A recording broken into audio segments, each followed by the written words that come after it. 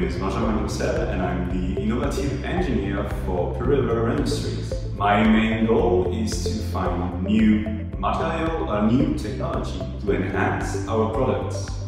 My current task is on finding biological materials to reduce our footprints, both on the product we provide and also on the solution for our customers. I'm also trying to reduce the energy needed for a building by improving the thermal resistivity of our sandwich panel. I think that those main two topics are necessary to bring in and build solutions sustainable for both the customer and the environment.